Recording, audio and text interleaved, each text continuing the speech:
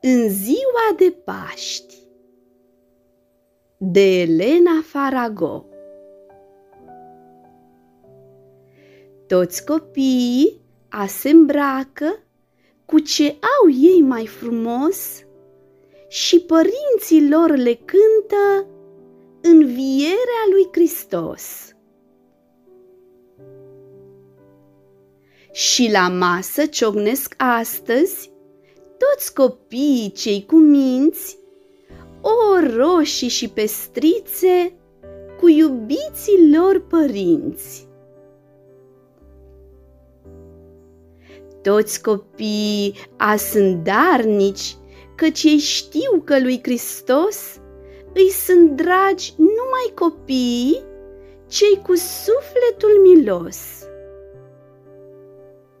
și copiii buni la suflet, azi cu bucurie dau cozonaci și o roșii la copiii care n-au.